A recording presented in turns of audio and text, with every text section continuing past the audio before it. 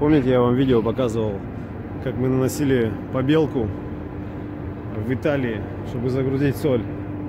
И теперь нам вот эту побелку надо отшкрябывать, убирать. Она ни хера не хочет отдираться. У нас следующий груз камни.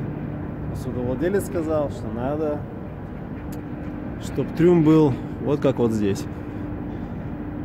То есть работы еще получается в три раза больше, чем просто нанести. Вот такие вот дела. Лучше бы денег он не пожалел. Покрасили бы нормально трюм в белый цвет. Блин, было бы все, короче, норм. Но как всегда все делается через одно место.